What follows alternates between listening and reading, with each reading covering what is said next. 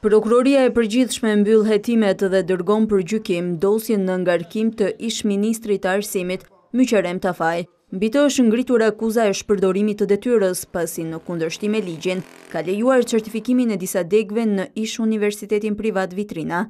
Grupi hetimor sqaron se është provuar tashmë që Këshilli i Akreditimit pranë Ministrisë së Arsimit ka kundërshtuar kërkesën e ish-universitetit Vitrina për të hapur katër fakultete të reja.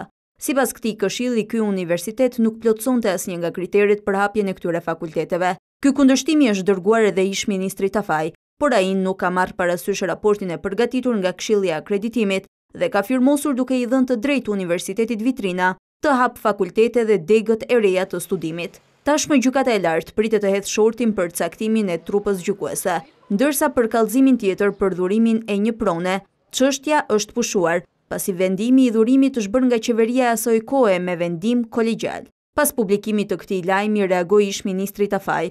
Ai e ka cilësuar vendimin e marrë nga prokuroria si të padrejtë dhe nën presionin e qeverisë. Sipas tij, çdo vendimmarrje për hapje programesh studimi është bërë sipas kompetencave që i jep ministrit Kushtetuta dhe ligjet në fuqi. Ai thotë se nuk mund të pranojë fushata apo vendime për prerje kokash, për hir të luftës politike të qeverisë ndaj opozitës apo thjesht për hir të statistikave.